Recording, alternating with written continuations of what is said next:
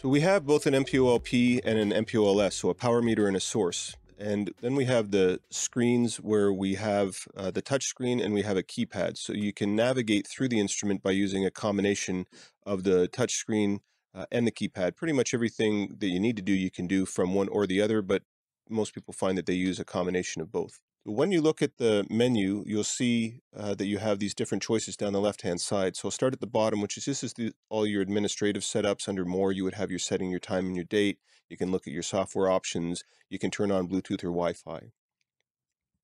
The middle is important because this is where you set up your projects. And with the MPO-X, all your projects are set up on your power meter. And then when your power meter is connected to your source, the project information gets sent from the power meter to the source. So when we look at the projects, you can see what projects are defined in the device. You can change which one is active by using the active shortcut on the screen. And you can also, through the menu, you can remove, you can add, you can copy, and you can set active within there as well.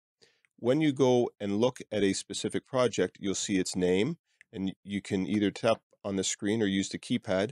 You can see a description, you can see the label prefix, which is uh, what's going to, all your fibers that you test are going to say fiber ID, and then they're going to have one, two, three, four, because that's your label index.